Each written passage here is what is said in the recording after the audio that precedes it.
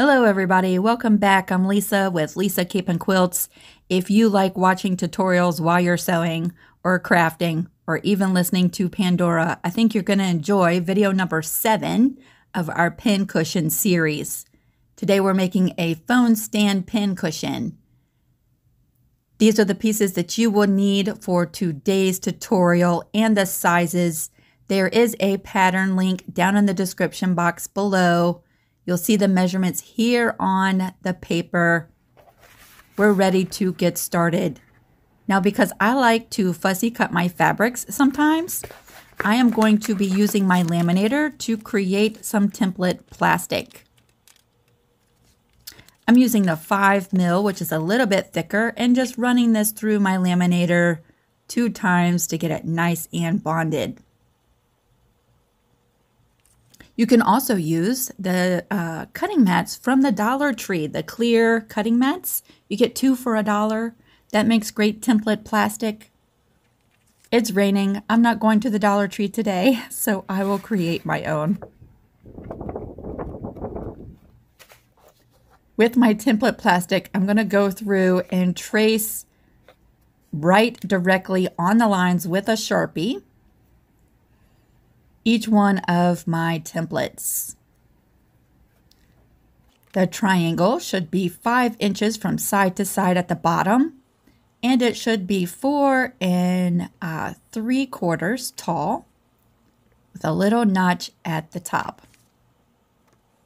This is going to be the sides of our pin cushion. And then for the phone stand, you'll need one piece that is 5 inches tall and 4 inches wide.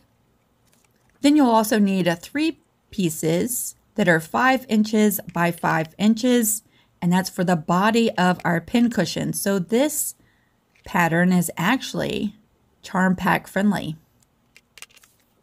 Just tracing out each one of my templates and cutting them out directly on the lines. Now I'll show you how these clear templates come in so handy when you want to fussy cut your fabric pieces. I'm just going to use a marker and trace my design right onto the fabric. This will be in the seam allowance. We're not too concerned with the pin marks. Now I'll take my straight edge ruler and my rotary cutter and cut out my pieces directly on the lines.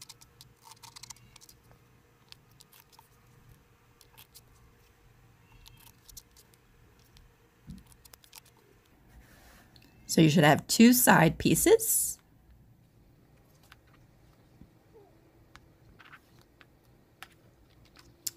And then three 5 inch by 5 inch pieces and one that is 4 inches wide and 5 inches tall. Now I want to add a little pocket on the back of mine. So I'm just going to cut apart this little baby pair of blue jeans. I love going to the thrift store garage sales and looking for toddler sized jeans for the small little pockets. Just going to remove the backing of the pocket and trim all the way around. This part, of course, is optional. There's a little baby pocket. And now we can start sewing together our pin cushion. So I have the front and the back of our pin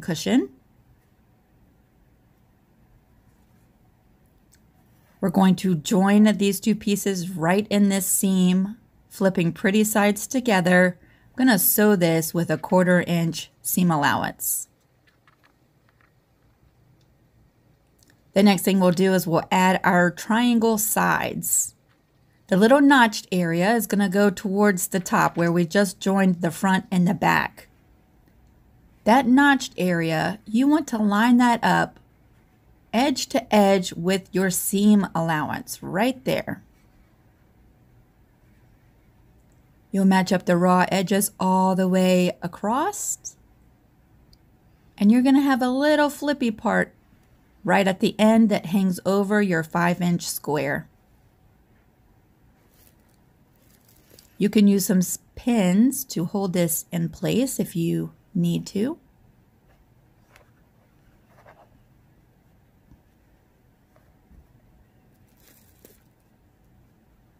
And when we bring this over to the sewing machine, again, we're still using the quarter inch seam allowance.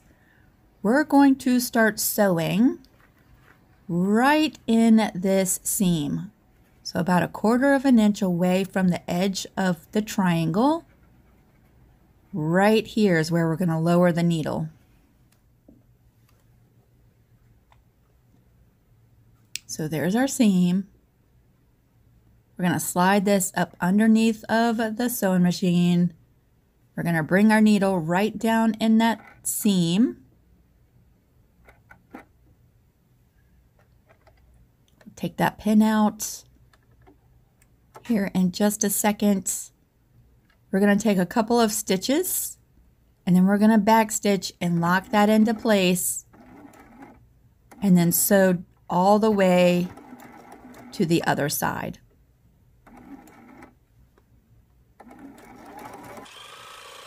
This is exactly how you're going to attach the other triangle as well.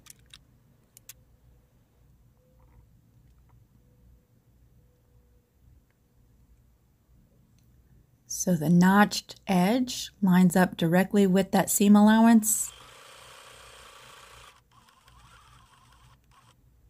And you're sewing to that seam that joins the front and the back together.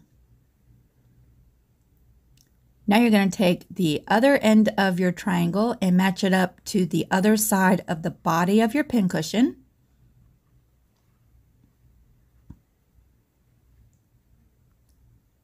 See the little flappy right there? You want to match that up right to the edge of that seam.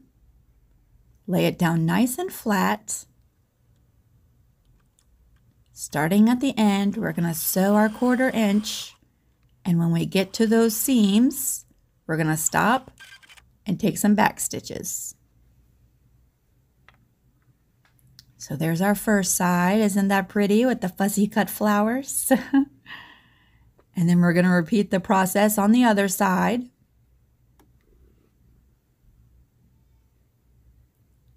You might have to fumble with it to get it to lay down nice and flat.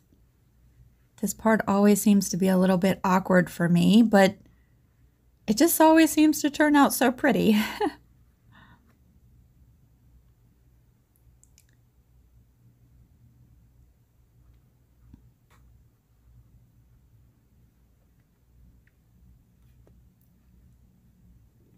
Eventually, you'll get it to lay nice and flat, just like this.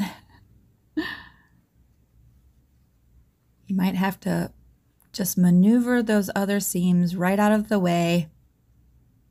And once you get it nice and flat, you can bring that over, lower your needle right down where that seam is, right here. Starting there,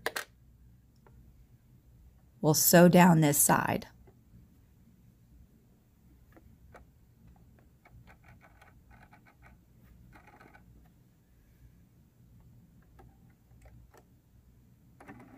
Sometimes I think, you know, when you're watching a tutorial, uh, it kind of makes sense. But once you actually sit down to do it, then you're like, oh, yes, okay, now I get it. Maybe that's just me. So there's our other side, nice and pretty. So now we can make the portion that actually holds our phone. We're going to take the 4 inch by 5 inch section we're going to fold that directly in half, pretty sides facing each other.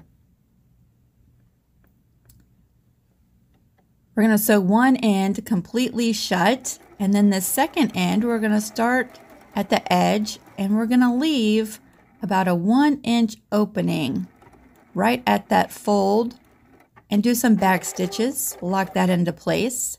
That's where we're going to fill the end of our uh, little phone stand when we're all done. I'm going to turn this right side out and poke out our corner. And then I'll just give that a press with the iron. Once it's all pressed nice and pretty, I'm going to just take a straight edge ruler and a marker. Right at the edge of the opening, I'm going to make some lines a quarter of an inch away from each other. Four little lines. Then we're just going to do a straight stitch right over top of those four lines.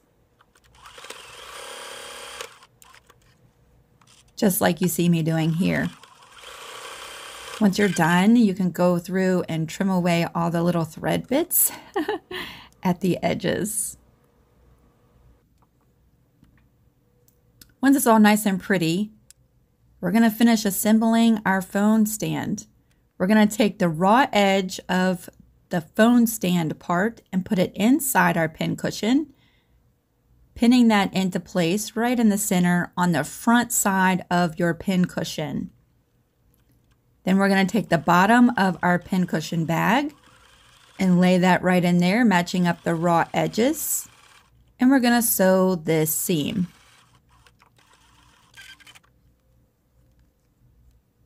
There's our little phone stand sewn right in there. I like to go across the bag and sew the next seam.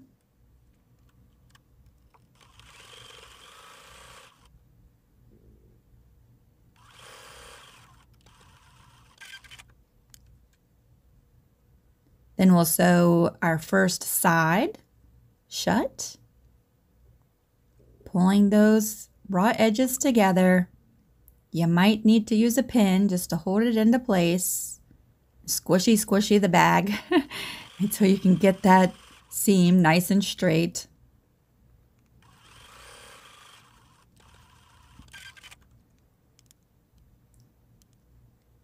And then we have one side left. So this is the side where we're going to leave an opening so that we can turn our pincushion right side out. So I start at the edge and go in a little bit, back stitch, jump down to the other side, and finish that seam. So here is our opening. Now we're done at the sewing machine. I'm just going to take a few minutes and turn this right side out. What I love about the templates is even though I use denim on this one, you could totally fussy cut each one of the sections of your pin cushion. I think that would be so adorable and it's it's really worth the extra time when you're fussy cutting because it just turns out so pretty. Once your pincushion is turned right side out, here's our opening. I'm going to start filling up this pincushion with some rice. Trying to be as less messy as I can. Just using a little pixie cup. And I'm going to fill my pincushion about halfway. And the rice really just adds some weight to the pincushion. There's all kinds of things that you could fill your pin cushions with.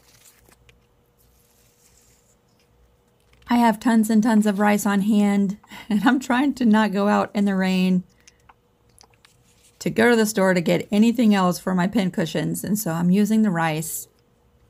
And then once it's about halfway full, I'm going to go back in with some polyfill and finish stuffing this pin cushion. What I really like about the polyfill is you can really get in those corners and uh, give your bag or your pincushion a really nice shape.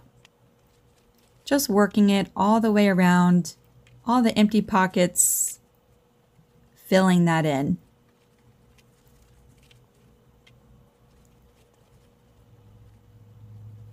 Once it's full, I'm just going to take the opening and just pin it shut and then hand sew that closed.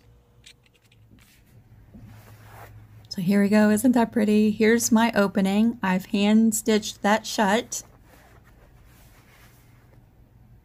See the fussy cut sides? Oh, it's so pretty. totally worth the extra effort. Now we're going to fill in the extra, the little pocket on the stand part of our pin cushion. For this part, the opening is a little bit smaller, so I'm going to use a funnel and a little bit of rice. Packing that rice in as full as it will go without making a huge mess.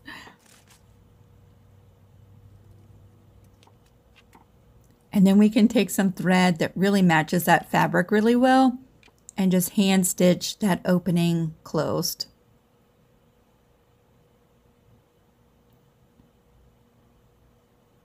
I love it when my thread really matches my fabric and blends in. then I don't have to worry about my my little stitches being so so precise and so pretty, right? We're just going to sew right to the little end of the mm -hmm. opening. I left my opening about an inch big, I would say.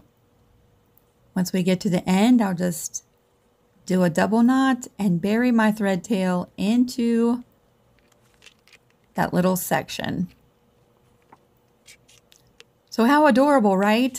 you could set this on your work table, watch your tutorials, play uh, Pandora or the radio, for the little pocket, I am done sewing, so I'm going to use some permanent Fabri-Tac glue and just glue that po pocket right to the back. Fabri-Tac glue dries really fast and it's permanent and clear. For the bottom, I've decided to take a piece of the non-skid uh, shelf liner that you can get at the Dollar Tree and just cut myself a section and glue it to the bottom.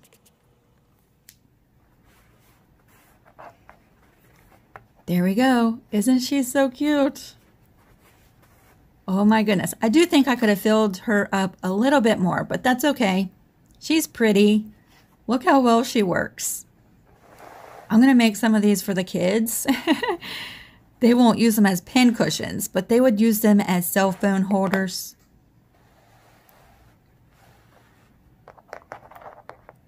Now we have this cute, adorable little pocket on the back. We could put our scissors in there. Add a little binding clip. Add some pins.